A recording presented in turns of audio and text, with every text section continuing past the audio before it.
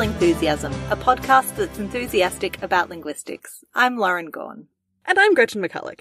And today we're getting enthusiastic about artificial intelligence, teaching computers language, with special guest Dr. Janelle Shane, who runs the blog AIWeirdness.com and is the author of You Look Like a Thing and I Love You, which is a fun new book about AI.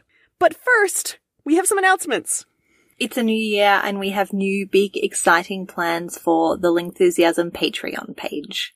We are introducing a Discord, which is an online chat space for patrons to share their enthusiasm with their fellow Lingthusiasts.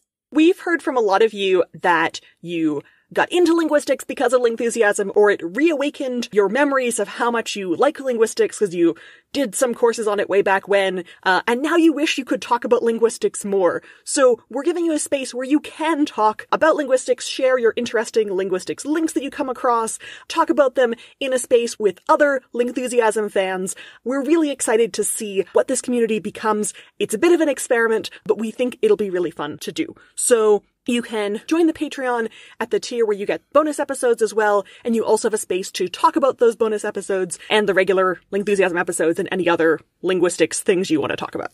We want to see more Lingthusiasm not just online, but also on all kinds of things, which is why we are also sending stickers over the next few months to patrons at the Lingphabet tier. So patrons who are at that tier for three months or more will get stickers that say Lingthusiast on them. So you can stick that to your laptop, your water bottle, your notebook, anything else in your life. And because the original trial round of stickers that we did with the special offer last year were really popular, uh, so we thought we'd provide a way for you to do that around the year. You can join that tier on Patreon as well.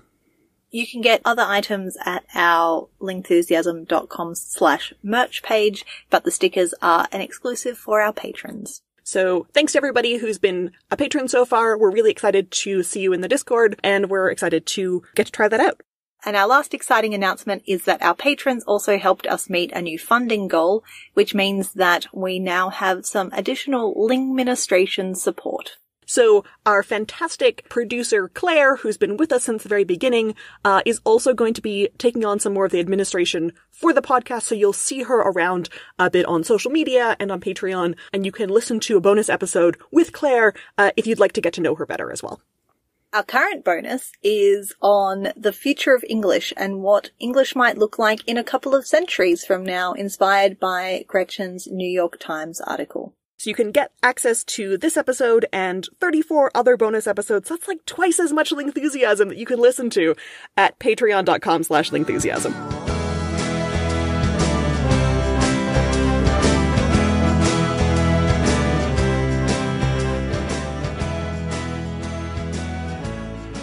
Hello, Janelle. Welcome to Lingthusiasm. Hi, it's great to be here. Janelle, we are so excited to have you on the show today to talk about how we can make machines do language. I think one of the things that we have in common, definitely one of the reasons I enjoy following your blog and Twitter feed and so on, is that both linguists and your approach to AI like poking at systems and kind of seeing where they break. Yeah. For sure. So I want to, in case some people aren't already following you on all of the internets, I want to kind of give people an idea of like some of the stuff that you have tried to make break.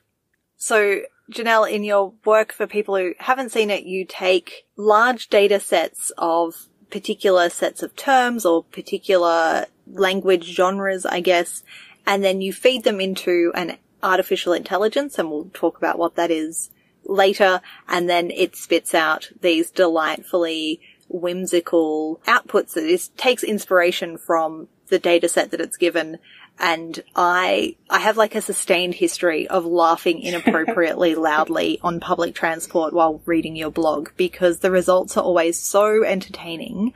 Um, Gretchen, do you have a favorite to share with us so I can chortle inappropriately? Uh, Lauren, I think we should start with ice cream because I know you have a deep and abiding love of ice cream, and Janelle has come up with ice cream flavors. Yes, yes, yes, yes. Janelle, where did the ice cream data come from? Did you have a list of ice cream flavors that someone gave you? Or? Yeah, in this case, uh, it was a group of middle schoolers, actually. There's a school in Austin, Texas called Kealing Middle School where uh, there was a group of uh, students in the coding classes who decided that they, they saw my blog, they wanted to do it too, and they wanted to generate ice cream flavors. That's so great. Yeah, so the thing is, you know, I had looked at that because I'm like, oh, this would be cool. And then I looked online. I said, I need examples of exist- existing ice cream flavors because the AI has to have something to imitate. Like, it doesn't know about ice cream flavors unless I have some to tell it about. But I, you know, they're scattered around. There wasn't any big master list of them. And so I kind of said, oh, well, I guess that's not going to work. And then these middle schoolers kicked my butt because uh, they went and there was, I don't know, dozens of them, 50, 60 of them, like a lot of them. And each of them went and collected a few from this site or that site. You know, the, each one site would only have a few at a time. They had to manually copy and paste into this data set and they just, you know, through the sheer numbers and having the time to do it, like they put together this amazing data set of existing ice cream flavors. Wonderful. So these middle schoolers ended up getting about 1600 different ice cream flavors, whereas I had only managed to get together 200. And with a data set that much bigger, it made a huge difference. Like they started generating pretty amusing flavors. So I've got the blog post up about the ice cream flavors from the middle school students, and some of them are really good. so there are these like whimsical flavors like It's Sunday and Cherry Poet and Brittle Cheesecake and Honey Vanilla Happy. Like these seem like kind of reasonable ice cream flavors, right? I'd be open to ordering a vanilla nettle. cherry, cherry, cherry. If you like cherries, this is the flavor for you. Yes. And then there are also some kind of weirder flavors from this data set, like chocolate finger and caramel book. Yeah. And washing chocolate. Texas Charlie covered stunt. Mm. And then there's this kind of like even weirder category, nuts with mattery, brown crunch, mm-hmm. cookies and green. yeah. Oh, so close and yet.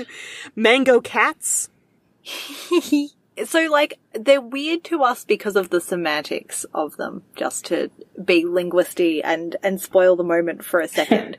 But they still are english words or they look like something we hmm. recognize as english words even though i don't think mattery is a word that i know of and so, like, I think it's worth saying artificial intelligence doesn't know what ice cream is, right? Right. It's just using this list of flavors to figure out what kind of patterns could fit into that list. Exactly. And it's doing it at a very basic level, like what kinds of letters tend to come after other letters.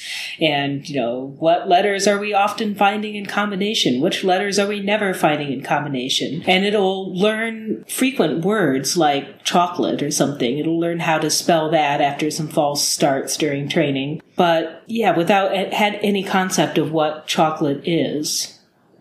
So if it ends up with something like Vervet's caramel Borful, you know, it learned caramel, but who Vervet and Borful are, I, I don't know. That's just like randomly combining some letters in ways that are kind of probable as English words. Yeah, it's like a little- uh, also like a kid who learns how to write and immediately starts putting down letters on paper. Like, is this a word? Is this a word? How do you pronounce hmm. this? And how does the, because, you know, obviously we train the neural nets that are children's brains by talking to them a lot and giving them more input and taking them to school and, and doing those kind of things. But a neural net type artificial intelligence that we're doing this kind of training by giving it lots of mm-hmm. data, how does it know if it is generating something that's more or less English? Is there a little like thing in the computer saying, good work, computer?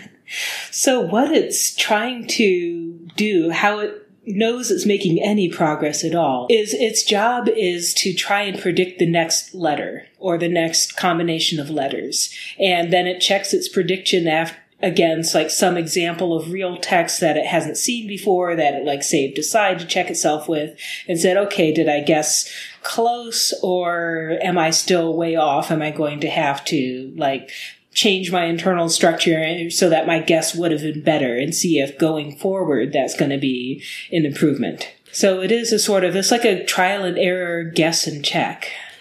And when you look at the different sorts of stages, because it goes through several different generations, right? So it might start out with just like, here's a bunch of E's, because E is really common, and then the, mm-hmm. the check is like, yeah, but you could do better. Yeah. It's like guessing lots of E's is more correct than guessing lots of question marks or lots of Q's. But yeah, it has to say, oh, well, maybe I could work in an S from time to time. And what do you know? That's slightly more correct and proceeds from there.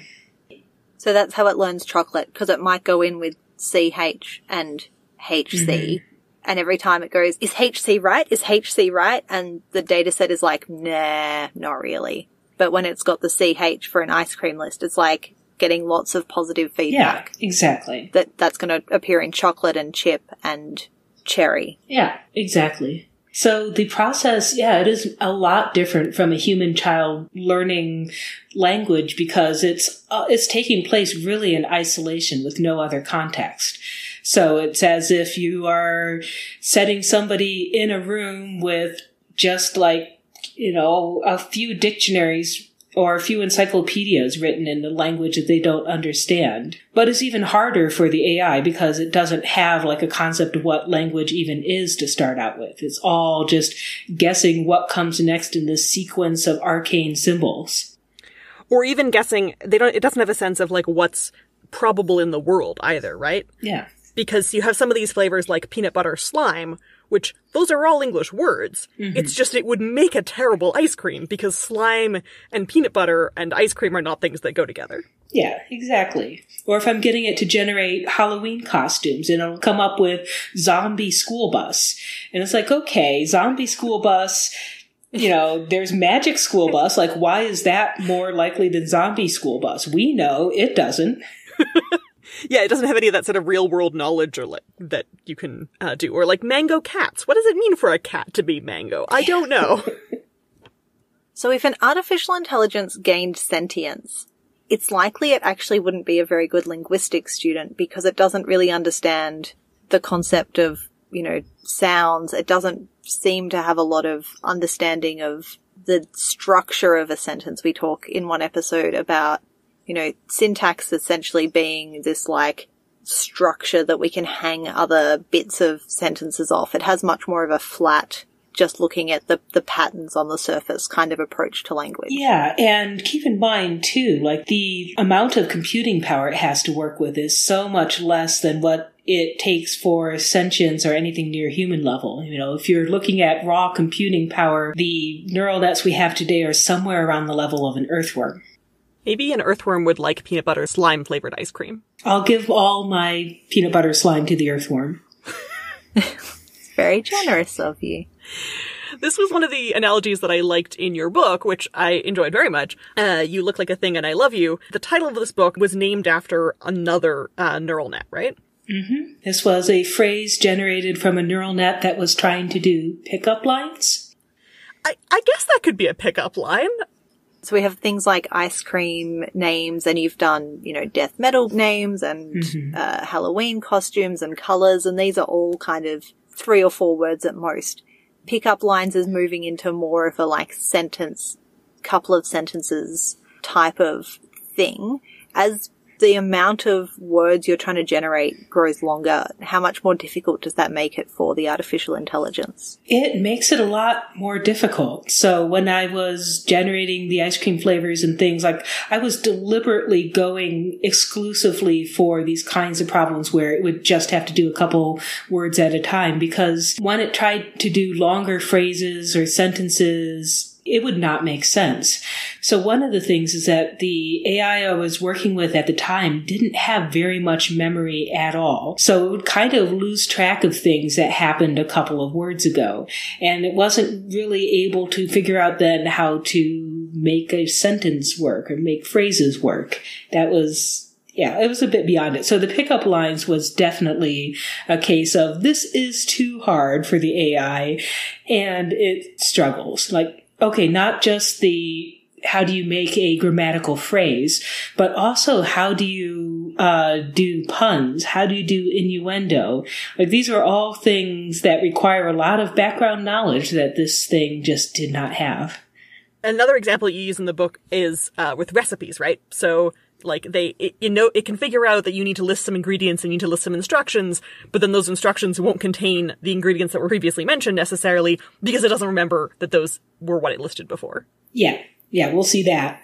And so you'll get something that, like, on the surface, at first glance, looks like a recipe. And then when you actually read more closely, you're like, wait a second, it has no idea what's going on. It's forgotten its ingredients. It's telling me to, you know, chop the milk into cubes. Like, this is something's going on here.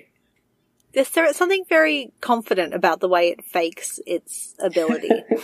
Yeah, well, I mean, part of the reason it sounds so confident is that it's copying what humans have written, and humans generally didn't tend to write in the middle of a recipe, uh, wait a second, I have no idea what's going on. So it does, it learns that is not a phrase that appears in a recipe. so it's not going to express any kind of confusion. It's just going to plow ahead with its best guess at what a human would say. and this is where i think your your famous giraffe question comes from Ah, yes. This is a. Oh, I love this chatbot. It's a chatbot called Visual Chatbot, and it's designed to answer questions about an image. So you show it an image, and then it comes up with a caption, and then you can have like this back and forth conversation with the bot about what it sees in the image. But, you know, you'd think that premise would be fairly straightforward, but there are weird quirks that arise just because this thing is trying to copy how humans ask and answer questions about images. So the training data is important. So in this case, the training data is a whole bunch of people hired through Amazon Mechanical Turk to take turns asking and answering questions about images. And then the chatbot was trained on answers. So given this kind of image, given what you know what the question is what would humans tend to answer in this situation but some weird quirks kind of emerge just from that premise uh, one of the things that they wanted to make sure to avoid was this thing called priming. So people tend to ask questions to which the answer tends to be yes. And they found like in an early version of this chatbot, the thing could get like 80% accuracy just by answering yes to every single yes or no question.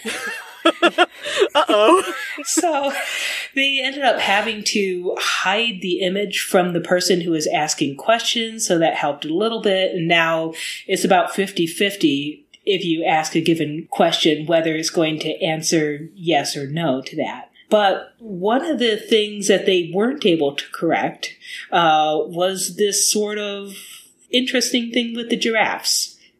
So, what happens is if you ask the question, How many giraffes do you see? the chatbot will almost always return a non zero answer. So it can be doing great about an image and be, oh yeah, this is a person on a snowboard, there's snow, up until the point where you ask, and how many giraffes are there? And it will answer three, or two, or too many to count. and I think it's just worth clarifying to really just to really make this clear. This is not a data set in which giraffes appear in every image. True. Yes. I would love to see that data set, snowboarding with giraffes. Yeah, there, there are three giraffes. Yeah. giraffe yeah. This is possible because I, I know this is like a an ongoing joke that you have, and so I I tested it with a an image of the cover of my book, which, as I think everyone knows, contains zero giraffes because it's not about giraffes. And Visual Chatbot told me that it is a sign that says unknown, unknown, unknown on the side of it, which I guess is not the worst for a, a cover that has text in it. Mm-hmm. You just can't read the text, sure. And then I said, how many giraffes? And Visual Chatbot said two. Yeah. and it comes from this thing is copying how humans tend to answer this question. And in its examples of humans hired through Amazon Mechanical Turk, the humans had not tended to ask the question, how many giraffes are there, when they didn't know if there were any giraffes. Right. So you'd say something like, are there any giraffes? The person says yes, and then you say, how many giraffes? Exactly. So if you ask the chatbot, are there any giraffes? It will answer no quite often. But then if you follow up with the question, and how many giraffes do you see? It'll say five. this approach reminds me of, as Gretchen said earlier, like as soon as I get my hands on some kind of thing that's doing this kind of back and forth question asking, or as soon as I'm let loose on a kind of Google Translate, um, I, th- I think it's a very like linguist brain thing to try and find these points at which the computer can't handle language properly. Yes. And it's it's always great when you have an approach that understands how humans actually interact with this data that helps explain why you end up getting these really strange answers and why it's good to have linguists help design artificial intelligence or chatbots and these things because the way humans choose to do language is very different to what we think of as like the nice, straightforward application at the end. Yeah, there's so many startups that have tried to have like some kind of bot that you can o- interact with in an open-ended manner, and then they run into trouble. Like uh, Facebook M is one of these uh, services that was discontinued last year uh, because they thought it was going to be like a digital assistant lives in your browser. You can ask it to do things like look up show times and stuff. But what people ended up asking for was the weirdest, most complicated things. Like one guy documented Oh yeah, he asked it if it could arrange for a parrot to visit his office, and you know, so I mean, you're not going to prepare for that when you're training one of these chatbots. So it turned out to be the chatbot kept needing humans to step in and rescue it, and they realized it was going to be too expensive because they were always going to need these humans. And this is a company that has no shortage of resources to throw at a problem like this. Yeah. Yeah, and I think if you tell people like, oh, this, you can interact with this like a human, they think they can do things like a make a request for parrots. Cause humans can understand a request for parrots, even if I can't personally deliver you a parrot, at least I understand this request. Whereas a chatbot, if it's not, parrots aren't in the training data, then parrots aren't, don't exist. Yeah, and this is one of the things too that kind of makes it hard to tell the difference between humans and computers when you're chatting with them. Like if you're in a customer service situation and you know, they try to really narrow the context in which you can ask questions and not make it uh, open ended, especially if they're going to invisibly use bots, because they don't want you asking for parrots out of the blue. Right. It's kind of like when you call into a customer service line, it's like press Yeah. one to talk to this, press two to talk to that. They really want to keep your options constrained because then the computer can help you. But it's when it's open ended and people start behaving as if it can do anything that a human can do that you start running into problems. Yeah, and so what you'll get is you'll get these companies that'll build chatbots where it'll start out as an open-ended conversation with something that is secretly a bot but hasn't said it is. But then if it gets confused, it will invisibly hand control over to a human. And that can be problematic because then, you know, if the customer by then is frustrated and thinks they're dealing with a robot, the poor human employee may uh, not have a very pleasant time with that conversation. So what I would really love, what I would love linguists to design for me is some kind of very polite, in context way to ask a question or interact with one of these bots that would reveal whether it is a human or a computer, like some kind of shibboleth that is nevertheless, you know, not like asking about his favorite Star Wars character, because that is, you know, that's impolite if you're talking to a human employee, but, you know, some phrasing or something that's tricky. That's an interesting question because I think a lot of times, you know, asking for something that's a little bit non-cooperative, mm-hmm. like how many giraffes sort of out of the blue is maybe going to deliver that, that answer. But it's also going to be kind of confusing and annoying to a human. Yeah, exactly. So my default has always been assume it's a human because, you know, better to be polite to a computer than rude to a human sort of thing. Mm. But it would be lovely to be able to tell the difference. I mean, companies should just tell us or have us talk to a human button or something. But yeah.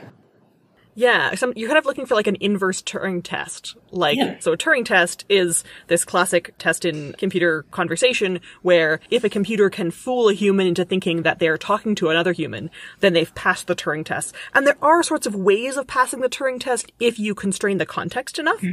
Um, or if you if you tell people that they're talking to a child or they're talking to somebody who's on uh, on some drugs or something like this, and you can or a philosopher, uh, then they're more likely to believe These are the three kinds of, of, of people that a robot can be. uh, but if you try to do something that's very practical or that has, you know, is grounded very much in reality, then people aren't as willing to be generous with the computer's misinterpretations. So, Janelle, your blog posts that you make the neural nets do funny things, they're really funny. And yet, I have a feeling that it's not only that the neural nets are funny, it's also that you're really good at spotting the funny bits and bringing them out to a blog post for us. Yeah, you know, there's a lot of human storytelling work that goes on. So how is this going to be interesting? Where's the funny thing that it's doing? Sometimes it's the ratio is like a hundred to one of things that aren't very funny that it generates. And the one thing that I'm like, oh yeah, yeah, I'm, I'm posting that. Because I guess the thing about it being a computer process is that you could just generate infinite numbers of nonsensical ice cream names, but a lot of those are too nonsensical to even be particularly amusing. Yeah, and it also has a tendency to, especially if we're dealing with something shortish and simplish like ice cream, then it'll generate something and it says mint chocolate chip. And I'm like, oh, it just copied that. It learned that one. Learned that one too well. Yeah, because as far as these AIs are concerned, exactly copying my examples is a perfect solution to the question I'm asking of it. If it can predict every single word, word for word, you know, in the text file that I gave it, then that is a perfect score. And so I, sometimes it's almost like a battle for me to try to get it to be just bad enough at the task. Yeah, not so bad that it's incoherent, but just like bad enough that it's Yeah. humans can resolve what it's supposed to mean, Yeah. and it's still funny. One application of uh, this name generation process you've been doing was when you created a list of craft beer names, and a company actually took one of those names to create a beer.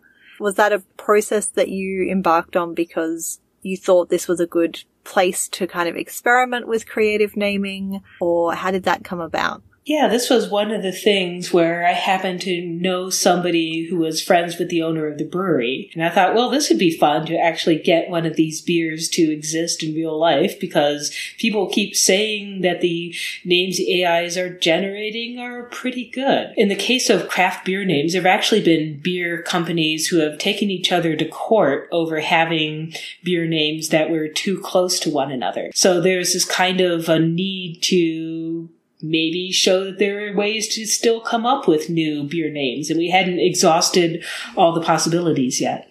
And so it's really a collaboration between you and the AI where you are curating all of the names that it gives you in order to find the ones that have that perfect balance of kind of following the rules you've given it, but with a bit of a lateral thinking approach. Yeah, and just the right amount of lateral thinking as well, too. Sometimes it's way off the mark and comes up with, I don't know, you know, farm fight as a name for a beer. like, well, Mm. Here are some of the beer names that were on the list, uh, like Dang River, Mm. and Binglesard Flack, and Toe Deal, and Devil's Chard. Some of them, like I can almost imagine being a craft beer. Uh, in the end, it was the Fine Stranger that was bottled and labeled. Hmm, that's good. And I think like the examples are are very funny, but there's also sort of an important part of making a lot of funny examples for AI. It's not just like to entertain people, even though it is very entertaining. yeah, there's people using these practically as their business uh, in coming up with brand names. So, you know, I did this one beer. I don't do, there's a whole art to naming brands. And it's not just coming up with the names, but it's also this whole framing of, you know, because of the etymology of this and that, or because the computer mashed this together with that. So there's definitely a storytelling element to it as well. And so when I was kind of going through this process with the beer, I was definitely getting the sense of, oh yeah, I've got all these great names. You know, any, not any one of these, but many of them would make great beer names and the beer would sell well and the brewery would be happy with it. But yeah, how do I kind of put it on the marquee or put it on the silver platter and make them actually say, yes, the authority has spoken. This is the name. And beyond brand names, there are also lots of other practical applications people are- using artificial intelligence for now, whether that's you know, machine translation or self-driving cars or all of these sorts of like very practical aspects to things, but it's hard to like see the inside of a self-driving car, what that looks like, uh, and how it's making problems for things. Whereas it's easier to kind of see what happens when you make a bunch of weird ice cream flavors. Yeah, exactly. That's why I like doing these kinds of uh, tests. It's you know some of the biggest applications for AI is in you know doing financial predictions or looking for fraudulent logins and things like that, where it maybe is comprehensible to somebody who's in that field, but you know, the way that they're making mistakes in that field is not very obvious, not very interesting if you're not like right there in that field working with these kinds of numbers all the time. But if it's making a mistake on an ice cream flavor, that is much faster to see. Oh yeah, it's doing pattern matching. Oh yeah, it doesn't understand what it's doing. A lot of these same mistakes really do translate over to commercial applications. So we've talked a little bit about how you have to curate mm-hmm. the output because it will just keep spitting out silly ice cream names forever. And we've talked a little bit about some of the problems with the types of data that are put into these processes in terms of, you know, if you don't set it up very well and you have people answering questions about giraffes in a way that the AI is going to implement weirdly. But there are bigger and more serious implications for thinking about the kind of data that we are using to create artificial intelligence processes, not just with language, but uh, particularly kind of for this topic, looking at the, the kinds of data that people use to build artificial intelligence. Um, and you talk about this a bit in your book. Where do you see some of the biggest challenges in creating good AI? Yeah, so one of the things is that remember these AIs are, they have about the raw computing power of an earthworm, and they don't have the context then to realize that there are some things that the humans do that they probably shouldn't be copying. And so completely unknowingly, they will copy things like racial, gender discrimination, and they won't know that that's what they're doing. They won't know that that's a bad thing. So they just really can't comprehend it. So it's kind of like the chatbot that figures, oh, if I just answer yes to everything, I'll get 80% accuracy, even though it's not actually useful communicatively to just answer yes to everything. Yeah, it's like this is exactly what you have asked for, but is not necessarily what you want. And so when we give it a bunch of human decisions on resume sorting, for example, and we tell it copy these human decisions, then uh, these algorithms can look and say, well, you know, this is a very difficult problem, but looks like all of the applicants who have gone to this one college are, tend not to be hired. And oh, that college is a women's college and it is implementing the, you know, gender discrimination that it's seeing in its training data because it saw this signal, didn't know what it was, only knew that it was helping it copy the humans a little better. Right. And so if the humans are already having their sorts of bias, the AI can kind of magnify that bias like if you have a human mm-hmm. that's answering yes 80% of the time and now the AI is answering yes 100% of the time and it doesn't know what it's doing. Exactly.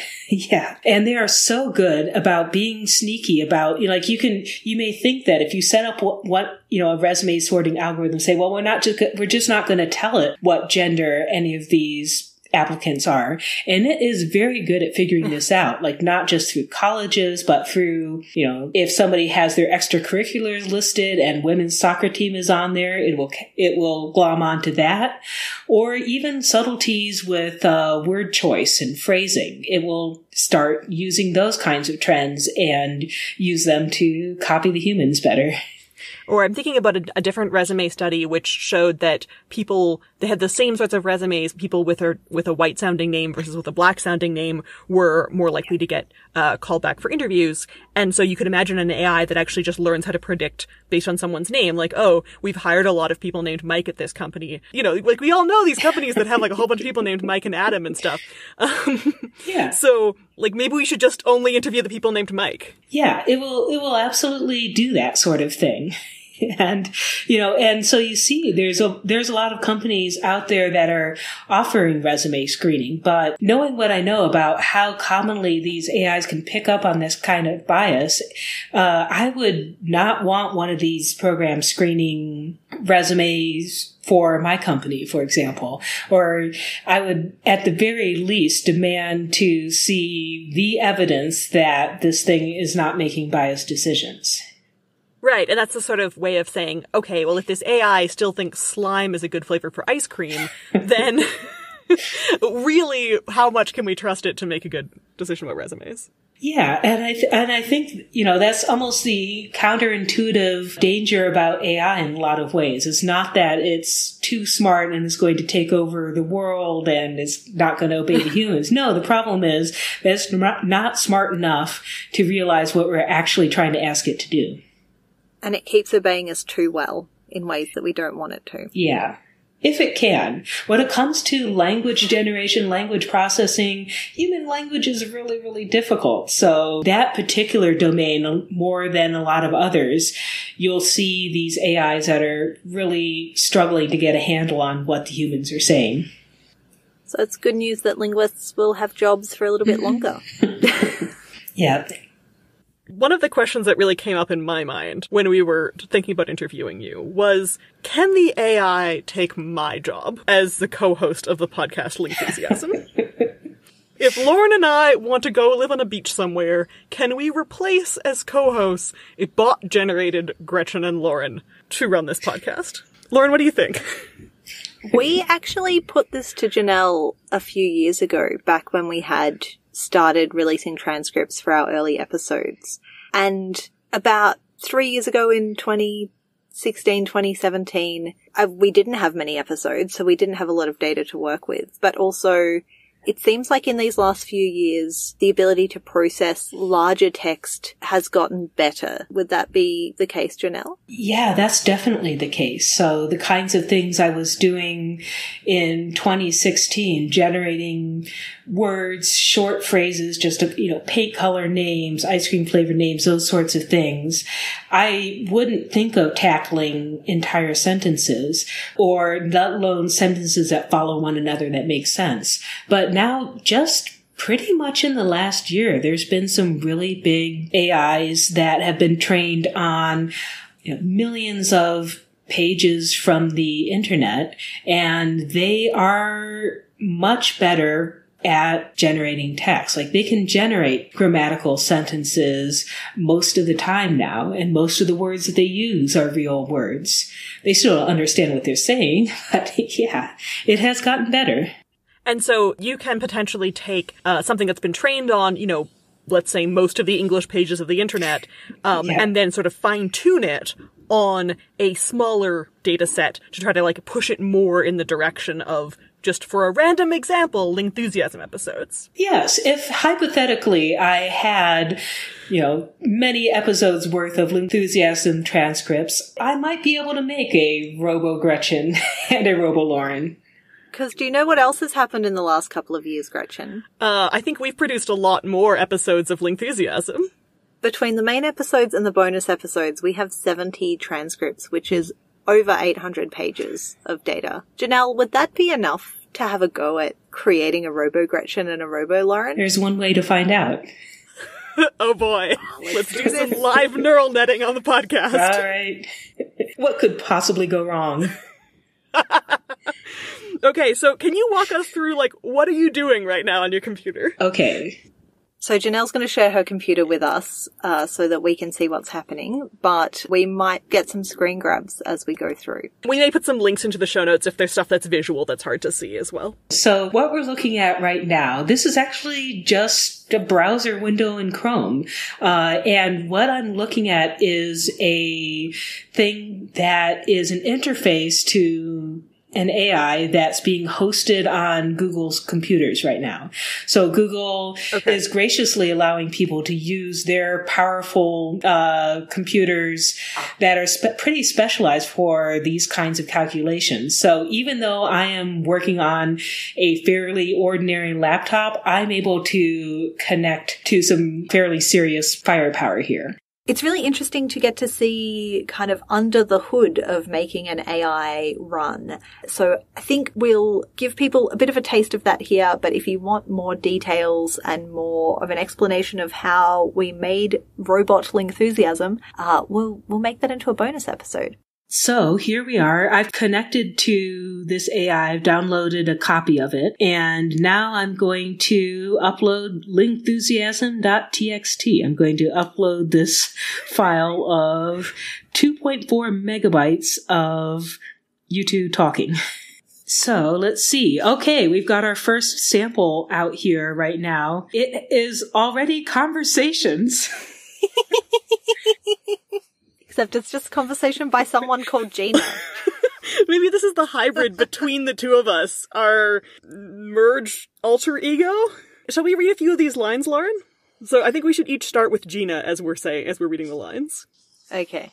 So first line. This is the this is the first of Gina's lines. Gina, yeah, that's why I'm going to be honest with you. Gina, we're not always going to be like, oh, we don't know why we did that. That's why. Gina, I know, the people who have come to me to ask me are going to be like, yeah, I didn't know who was getting up and down the stairs and going to a doctor's appointment. Okay, so not very enthusiasm in content there. But I like where Gina's going. Yeah, I like that it's getting a, a dialogue thing. Yeah. We're pleased to announce that in fact your Lingthusiasm host will be replaced by robots, but only for one episode, and it will be a bonus, and it will be very, very funny. So you can go to patreon.com slash lingthusiasm to listen to the next bonus episode, which will be uh, written by robots and performed by you and me, Lauren. To listen to that bonus episode, check out patreon.com slash lingthusiasm, and you can hear us reading some of our favorite examples. We will also give patrons access to some of those reams of examples, so you can find ones that make you chortle as well. Um, we'll have some screenshots from the AI building process for patrons as well. But thank you so much, Janelle, for taking us through the process of actually training a neural net artificial intelligence and showing us some of the pitfalls and some of the challenges, uh, and for talking to us today. If people want to read more about how artificial intelligence is making the world weirder and more wonderful, and some of the challenges and limitations, your book is You Look Like a Thing and I Love You, and I loved reading it. Yes, I can personally attest that I got my copy the night before my book came out when I was very distracted and it successfully distracted me for several hours while I was kind of waiting for that countdown of midnight uh, to have that happen. Nice. So it has lots of fun pictures of weird things that the AI are doing as well. And thanks again for coming on the show. Oh, it was my pleasure. This was a lot of fun. I love listening to your very strange uh, generated conversations.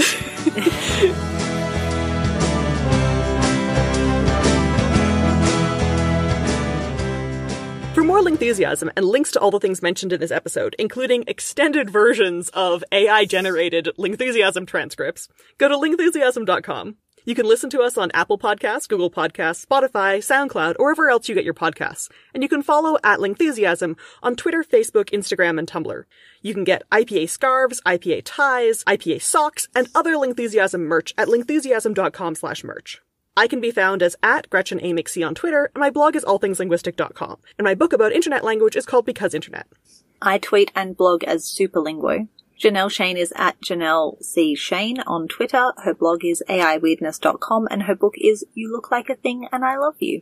To listen to bonus episodes and help keep the show ad free, go to patreon.com slash lingthusiasm or follow the links from our website. Recent bonus topics include future English, onomatopoeia, and linguistics fiction. If you can't afford to pledge, that's okay too. We really appreciate it if you can recommend Lingthusiasm to anyone who needs a little more linguistics in their life. Lingthusiasm is created and produced by Gretchen McCulloch and Lauren Gawne. Our senior producer is Claire Gawne, and our editorial producer is Sarah Dopierala. And our music is Ancient City by The Triangles. Stay enthusiastic.